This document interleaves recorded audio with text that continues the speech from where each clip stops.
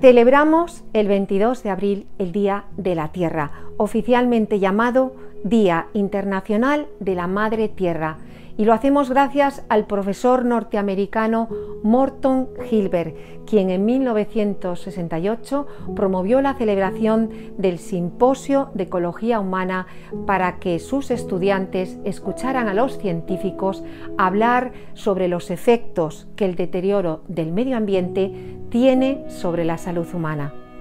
Estos mismos estudiantes, con Gilbert a la cabeza, organizaron una manifestación inolvidable porque consiguieron sacar de sus casas a 20 millones de norteamericanos para pedir la protección de la naturaleza y del medio ambiente.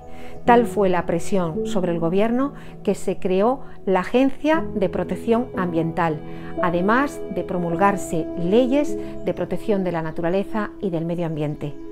Así que en este día celebramos la valentía de defender la tierra. Feliz Día Internacional de la Madre Tierra.